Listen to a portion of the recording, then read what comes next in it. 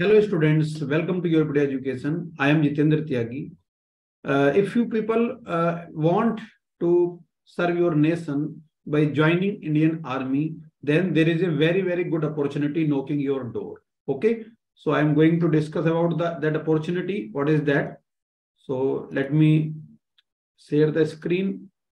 Applications are invited from eligible unmarried male and unmarried female engineering graduates and also from widows of Indian Armed Forces defense personnel who died in the harness from for grant of short service commission SSC in the Indian Army. Okay, so there will be some course, one kind of training. Okay, that will start in October 2023 at Officers Training Academy, Chennai, or OTA Chennai, right? So now what is the eligibility criteria? A candidate must either be citizen of India or subject of Nepal or person of Indian origin. So these this is the nationality criteria.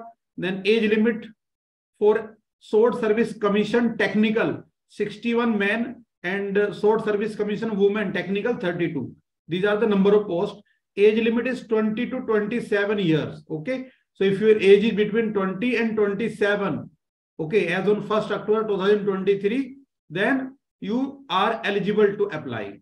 Okay. And for widows of Indian Armed Forces defense personnel who died in harness only, that is 35 years age limit. Okay. And that will be calculated your uh, from your birth certificate or from your high school mark sheet. Now, educational qualification for applying. Okay. So engineering degree is required and non-engineering also in both uh, we have opportunities. Final year students are also eligible to apply. Okay. Now, educational qualification for widows of Indian Armed Forces defense personnel who died in harness. So for non-tech post, graduation in any discipline. For technical post, BE, BTech in any engineering stream. Right.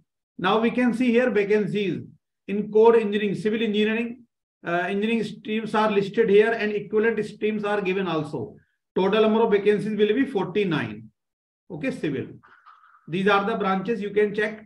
In computer science, 42 vacancies we have. In uh, electrical also we have 17 vacancies and all branches like electrical, electrical and electronics, electronics and instrumentation, instrumentation. Okay, so all these BTech branches mentioned here are uh, counted under this electrical header. Okay. Then we have electronics engineering. So many branches are under electronics engineering also. 26 vacancies will be there. And for mechanical, these are the branches, 32 vacancies. Many mechanical related branches are eligible here. Okay. And then plastic technology, remote sensing, ballistic engineering, nine vacancies are there. And in biomedical also, we have medical electronics, food technology, agriculture engineering, okay, metallurgical engineering, metallurgy and material engineering, all these branches are eligible to apply. So total there are 175 uh, vacancies in technical section. Okay, now for uh, Short Service Commission technical women, there will be 32 posts. These 175 will be, were for man, male candidate. And okay, and these are from uh, for women candidate. So in civil we have three vacancies. In computer science we have five vacancies. In uh, electrical we have one vacancy. Then electronics, we have two vacancy. Okay. Then mechanical also we have three vacancy.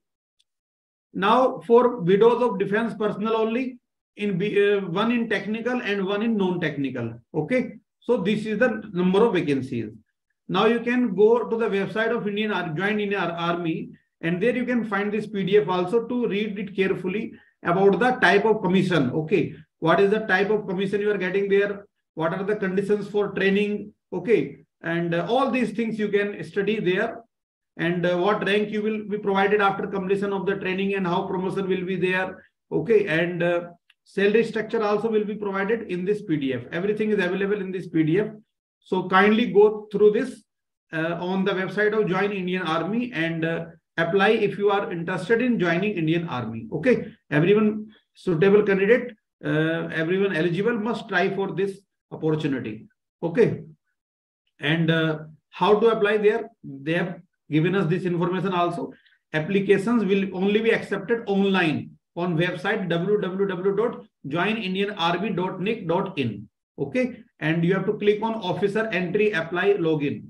And there you need to register uh, and submit your details and then complete form you can fill.